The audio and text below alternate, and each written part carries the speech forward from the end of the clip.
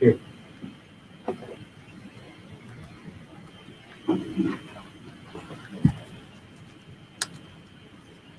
Okay, Assalamualaikum warahmatullahi wabarakatuh dan selamat pagi.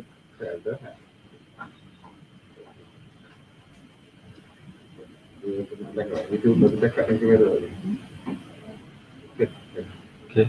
Assalamualaikum warahmatullahi wabarakatuh dan selamat pagi. Uh, uh, saya Dr. Yusri bin Mat Yusof, uh, Ketua Jabatan Radiologi Hospital Sultanah Maliha uh, mengambil uh, peluang uh, CME pada minggu ini untuk uh, membentangkan uh, tentang uh, radiasi, radiasi, keselamatan radiasi.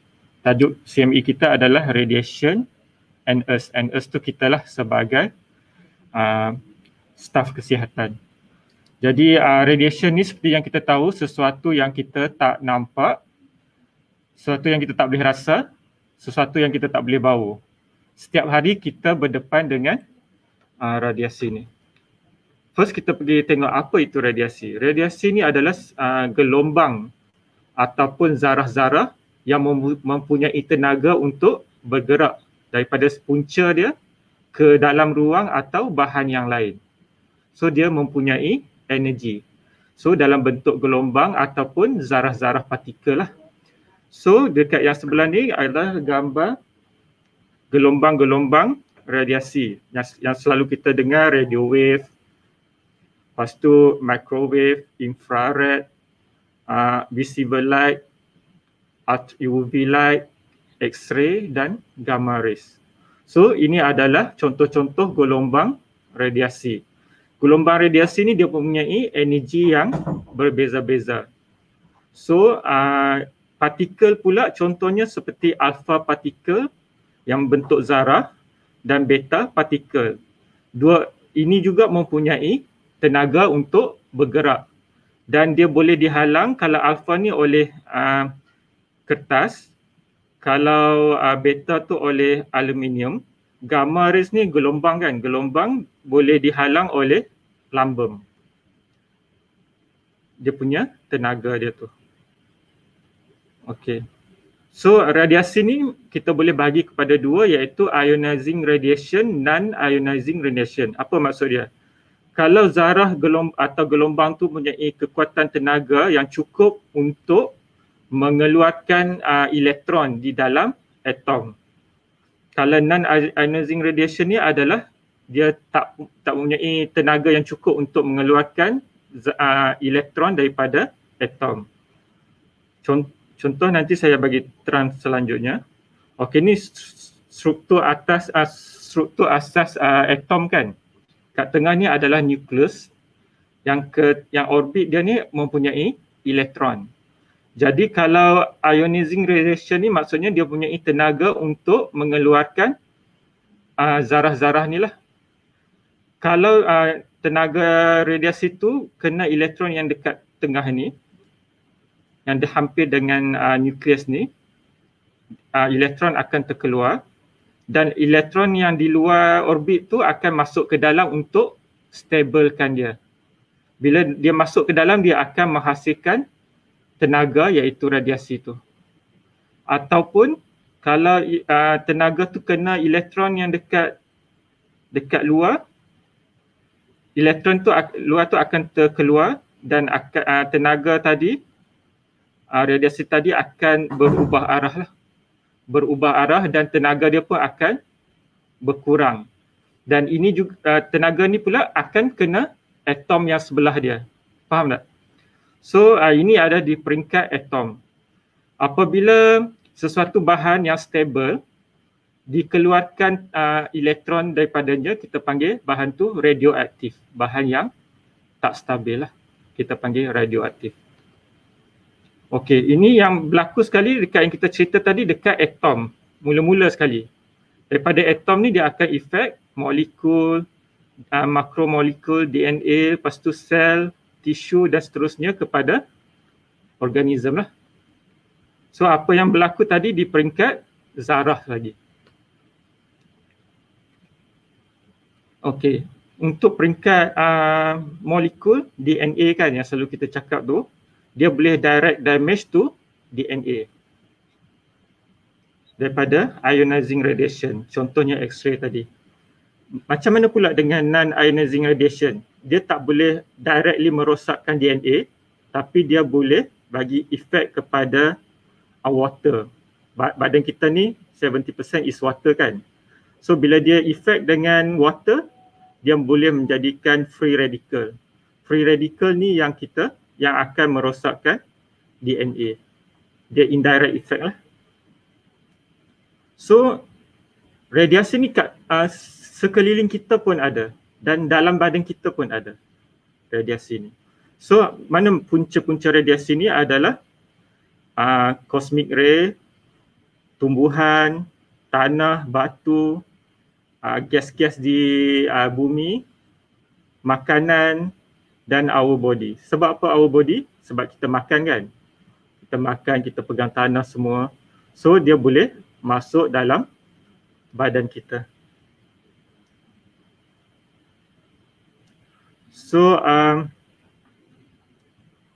daripada uh, natural radiasi ni dia seumpama 120 chest x-ray uh, per tahun. Satu tahun kita buat umpama 120 chest x-ray. Okey apakah kegunaan uh, radiasi ni? Kegunaan radiasi ni bukan saja dekat dalam bidang perubatan, bidang lain pun menggunakan radiasi ni. Contohnya perubatan, akademik, industri, power plant dan juga ketenteraan. Okey. Ini mesin-mesin yang digunakan di X-ray.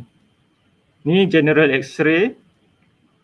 Um, basic dia sama saja iaitu kita ada satu alat yang menghasilkan yang menghasilkan X-ray yang ni.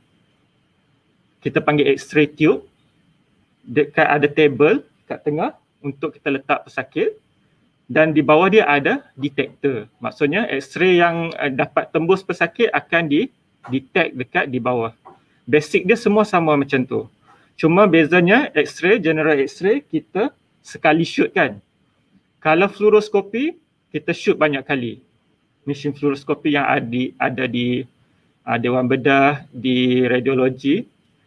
Maksudnya di kita shoot uh, banyak kali macam kita ambil kamera lah lebih kurang.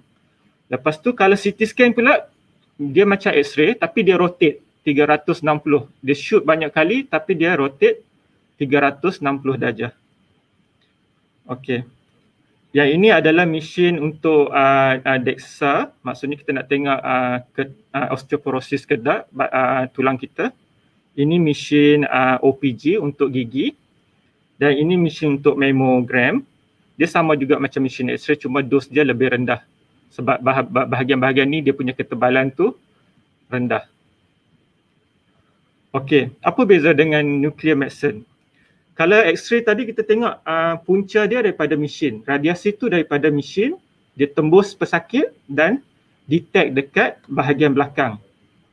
Manakala nuclear medicine ni pula, radiasi tu diberi ke dalam pesakit. Maksudnya pesakit sendiri yang mengeluarkan radiasi tu. Ini contoh uh, suntikan yang mana bahan radio radioaktif tu akan di uh, di combine dengan bahan yang apa itu spesifik kepada organ tu macam thyroid iodine. So dia akan combine dengan bahan yang spesifik kepada organ tu. Jadi bahan radioaktif ni akan sama ada dicucuk ke dalam uh, blood salur darah, uh, disedut ataupun diminum. So bila bila minum dia akan masuk dalam badan, dia akan pergi dekat spesifik organ tu. So selepas tu bah, uh, badan kita akan menghasilkan radiasi. Sebab uh, selepas menghasilkan radiasi dia gunakan mesin-mesin ni untuk detect radiasi yang keluar daripada badan kita. Uh, sebab itu kita dengar nuclear medicine ni kita kena kuarantin. Sebab apa? Sebab badan kita sendiri yang menghasilkan radiasi itu. Uh, tak sama macam radiologi, jangan salah faham bila pergi buat CT scan kena kuarantin. Tak sama, uh, CT scan tak perlu kuarantin. Okey, macam mana pula radioterapi? Radioterapi ni dia menggunakan X-ray dengan tenaga dos yang lagi kuat untuk meng, uh, mematikan sel-sel kanser. Macam tadi eh, radiologi kita cuma nak ambil gambar kan. So dos dia tu lebih rendah. Macam ni nak directly uh, mematikan uh, sel kanser. Okey, selain tu kegunaan dia dalam akademik, dalam industri. Dalam industri ni contohnya kita nak mematikan kuman dalam makanan lah. Uh, jadi kita uh, gunakan X-ray bah- atau bahan radiasi lain untuk mematikan kuman. Yang re- reflective sign ni adalah yang mana tritium ni bahan radioaktif ni akan dikombine dengan bahan yang menghasilkan cahaya. So lepas tu diletakkan di dalam uh, eg- macam exit sign ke tanda keluar. So dia akan continuously bercahaya tanpa menggunakan bateri atau elektrik. Uh. Lepas tu smoke detector pun uh, ada yang menggunakan ionizing radiation. Dan selain tu kegunaan lain kita nak mengukur ketebalan kertas, uh, paras uh, air dan uh, bahan kimia dan lain-lain lagi. Lepas tu nuclear power plant kita ada uranium lepas tu dan juga military weapon, nuclear weapon, atomic bomb. Okey daripada atomic bomb yang daripada yang lama-lama tu uh, apa ni? Ada ada certain ada negara-negara yang dia punya tahap radiasi tu berbeza-beza lah. Uh, Malaysia tahap radiasi dia lain, Jepun tahap radiasi dia lain. Dia bergantung kepada tempat-tempat. Okey, apa beza exposure de- dengan contamination? Exposure ni macam X-ray. Kita ada source, lepas tu kita kena sinaran uh, X-ray tu. Kalau contamination, dia macam bahan radioaktif. Maksudnya bahan tu melekat dekat badan kita, kat kulit kita ataupun kita sedut atau telan lah. Itu dipanggil contamination. Okay, uh, effect of ionizing radiation, apa kesan dia kepada badan kita? Kita boleh sebut dua uh, dua, dua kesan iaitu deterministic effect dengan stochastic effect. Deterministic effect ni maksudnya dia ada dos. Lagi banyak dos tinggi, maksudnya efek dia lagi besar. Dia ada simptom lah. Contohnya macam skin erythema, ke, uh, kulit kemerahan ataupun kecederaan pada mata kalau stochastic effect ni dia tak ada dia tak dia, dia tak bergantung kepada dos. Contohnya uh, cancer ataupun uh, genetic uh, effect lah. Uh, ni contoh uh, ni explanation lagi ni. Deterministic effect dia boleh jadi acute disorder. Contohnya uh, uh, bone marrow disorder, GIT boleh ada nausea, vomiting, headache, boleh jadi skin erythema, hair loss, sterility. Untuk fetal, untuk baby, boleh jadi embryo fetal disorder, mental mental uh, retardation. Kalau late pula dia boleh jadi cataract ataupun glaucoma. Untuk stochastic effect ni dia boleh jadi leukemia atau cancer ataupun uh, hereditary lah penyakit genetik. Okay. So apa objektif uh, radiation safety ni kita to prevent the deterministic effect yang tadi tu yang bergantung pada dose tu dan to reduce the probability of stochastic effect ni untuk mengurangkan risiko mendapat uh, kes, uh, cancer ataupun genetik lah. Okay. Radiation protection, perlindungan sinaran ni kita ada tiga base, uh, basic principle. Satu, justification of exposure. So setiap pemeriksaan tu kita kena uh, timbanglah antara kebaikan dan risiko. Contohnya pesakit ni ada pneumonia. Perlukah untuk buat CT scan uh, pada uh, hari kelima antibiotik contohnya? Uh, biasanya mungkin kita boleh bagi medical treatment dulu. Kita tengok dia punya progress, respon kepada antibiotik. Lepas tu kita repeat chest x-ray. Yang mana chest x-ray uh, dos dia lebih rendah daripada uh, CT scan kan. Ataupun contohnya kita patient tu kita rasa nak buat CT scan. Tapi bila kita berbincang dengan pakar radiologi, kita uh, pakar radiologi berasa MRI lagi bagus, superior ataupun ultrasound sudah mencukupi untuk membuat diagnosis. Maksudnya kita guna alternatif, kita tak guna X-ray, kita guna MRI yang menggunakan tenaga magnet ataupun ultrasound yang menggunakan tenaga uh, bunyi atau sonar lah. Optimization, nombor dua is optimization. Maksudnya kita dos yang bagi tu adalah di uh, apa ni as low as reasonably achievable. Maksudnya dos yang optimum lah. Cukup untuk membuat diagnosis kepada penyak, uh, pesak, uh, pesakit tersebut. Yang ketiga adalah dose limit. Yang ni adalah to ensure that individual are not exposed to unnecessary high amount of ionizing radiation. Kalau pekerja staff ni, dose limit dia adalah 20 milisievert. Kalau orang awam adalah 1 milisievert per uh, setahun. Tetapi untuk pesakit kita tak bagi dose limit lah. Sebab bergantung pada clinical judgement kan. Kalau perlu untuk macam justification tadilah kalau perlu untuk buat CT scan indicated kita akan proceed. Okey, macam mana untuk mengurangkan dedahan kepada radiasi ni? Ada tiga tiga aspek iaitu masa, uh, jarak dan juga shielding. Masa ni maksudnya kita kurangkan uh, faktor dedahan, masa dedahan dengan X-ray tu. Yang kedua is distance. Kita jarakkan um, uh, badan kita daripada uh, punca X-ray. Dan yang ketiga adalah kita memakai shielding lah. Uh, contohnya lead um, apron untuk uh, supaya X-ray tidak dapat menembusi um, badan kita.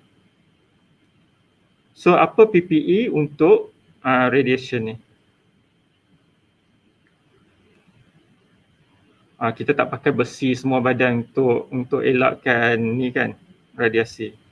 So ada organ-organ spesifik yang kita cuba uh, elakkan daripada uh, terdedah dengan uh, radiasi ni, X-ray. Contohnya glass, slit glass, thyroid collar, apron. Lepas tu uh, kita juga ada uh, badge untuk uh, measure the exposure.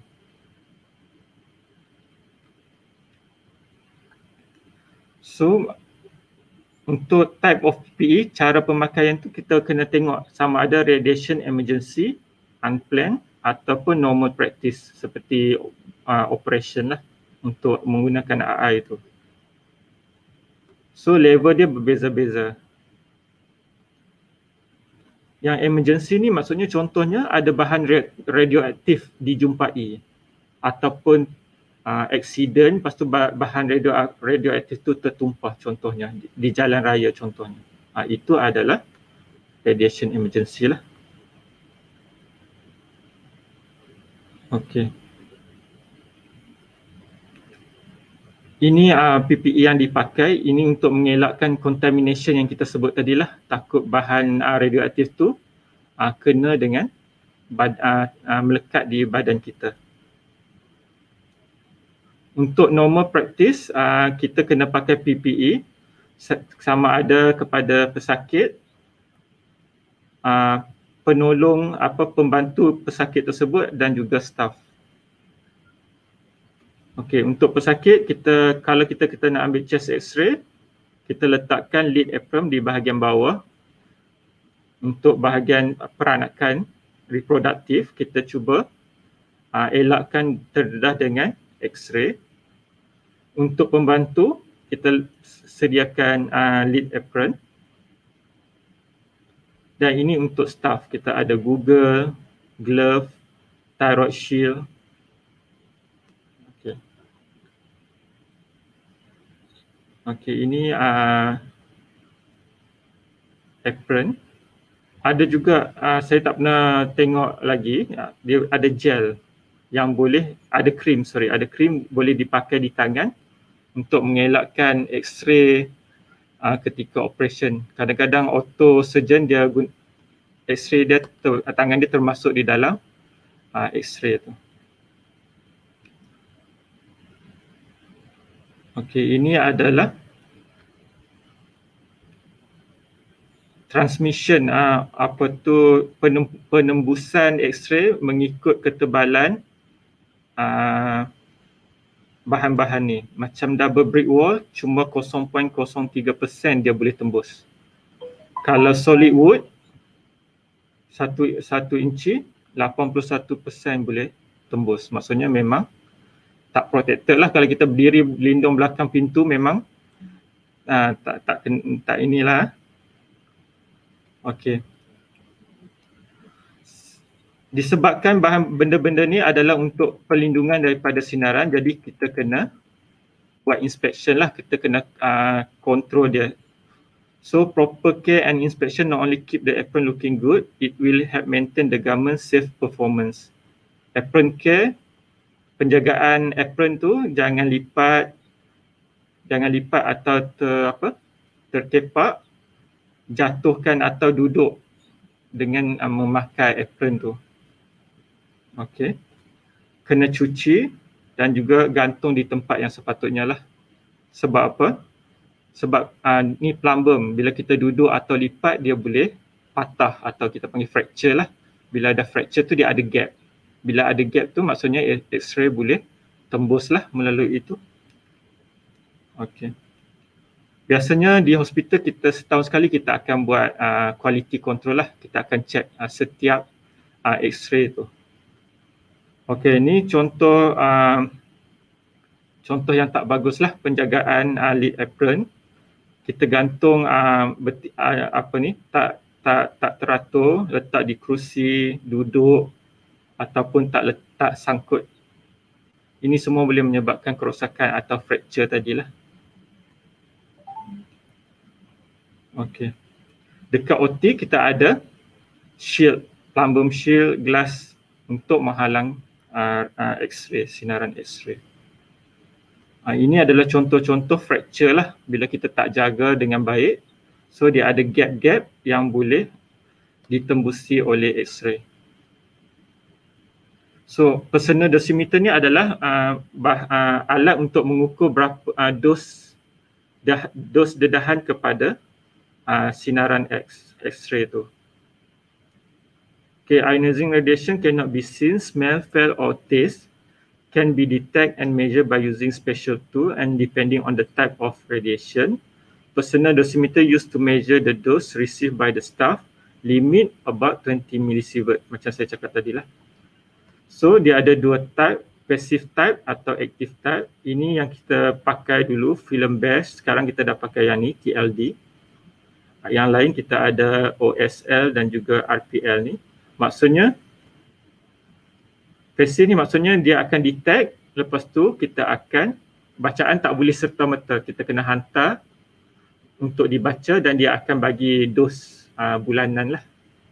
Uh, kalau aktif ni kita boleh directly baca dos dedahan dekat apa itu alat tersebut. radiation counter ni kita nak bagi tahu uh, di dalam dewan bedah tu berapa dos bagi setiap jarak. So ada study te- telah buat lah. Okay.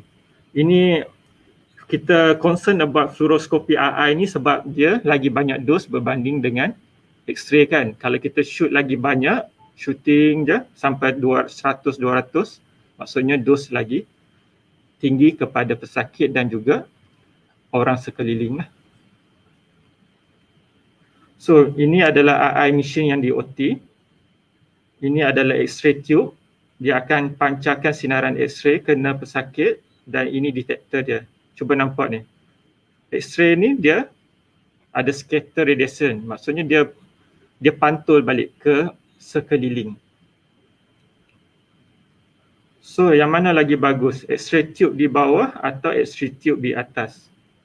Yang ni X-ray tube di bawah. Bila dia kena uh, table dan pesakit dia scatter radiation tu ke bawah. So ini uh, apron. Bila kita tengok graf ni dose uh, dose rate behind the lid apron rendah saja. Tapi bila X-ray tube di atas dia lagi scatter lagi tinggi. So dose dia akan terus meningkat. Ini walaupun dah pakai lead apron. So uh, make sure kalau boleh X-ray tube tu di bawah.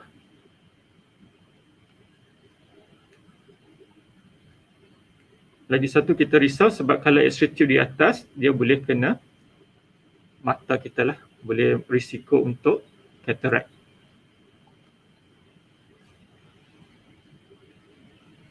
Selain satu lagi hand exposure. Cuba elakkan tangan kita berada di dalam uh, image tu lah. Sebab apa bila tangan kita ataupun bahagian badan kita yang berlipat, jadi mesin tu akan estimate kata tisu tu tebal. So dia akan bagi dos yang lagi tinggi. Kalau kita letak tangan maksudnya daripada ketebalan tu jadi lagi bertambah. So mesin akan bagi lagi banyak dos.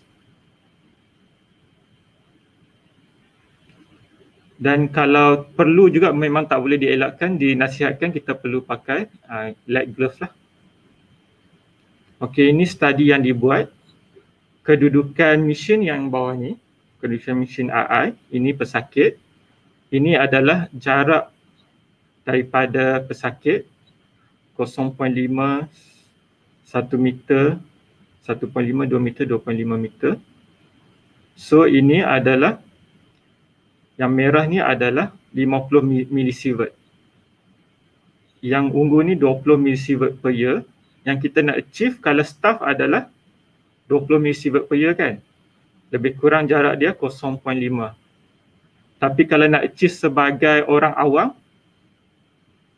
adalah 2.5 meter. 1 milisievert per year. Tapi ini bergantung kepada degree kedudukan uh, ni kalau kos yang paling tinggi adalah kosong degree iaitu setentang dengan mesin X-ray. Tapi kalau semakin rapat degree tu dengan mesin dia semakin berkurang jarak dia. Contohnya dekat dekat dengan mesin X-ray ni 1 milisievert per year tu jarak dia cuma uh, 1 meter saja. Uh, tapi kalau setentang tu 2.5 meter baru kita selamat. Kalau dekat mesin satu meter saja. Kalau kat tepi ni uh, lebih kurang uh, dua meter. Uh, maksudnya dia bukan bukan sekata faktor dedahan dia tu. Okay. So uh, daripada research ni dia uh, apa yang diberitahu all staff should stand more than 0.5 meter perlu berdiri 0.5 meter daripada mesin bagi memastikan annual dose uh, adalah 20 milisievert per year. The area less than 1 meter from the patient is considered as control area. So yang kuning ni 1 meter ni control area. Kalau kalau kita berdiri daripada kurang daripada ni kita kena pakai PPE. Kena pakai lead apron.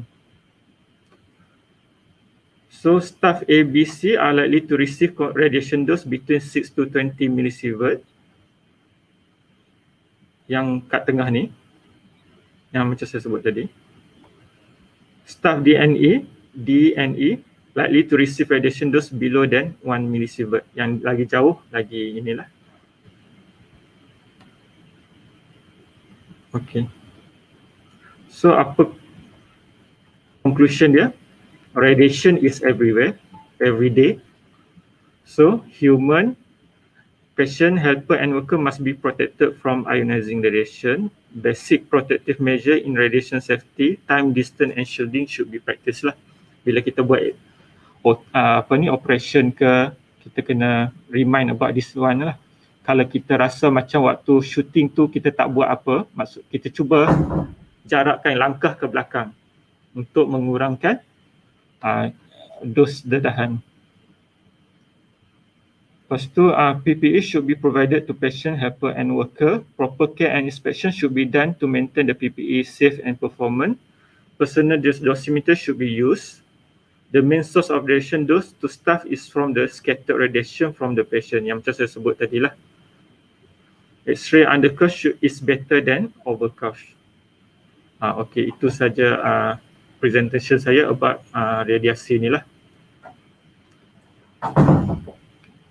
Okay, sekian terima kasih.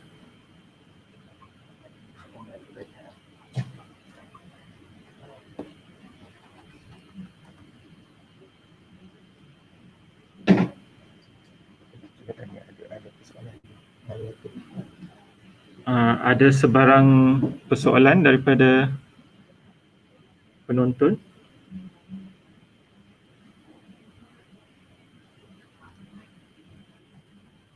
Kalau tak ada kita uh, tamatkan uh, CME kita pada hari ini. Sekian, terima kasih.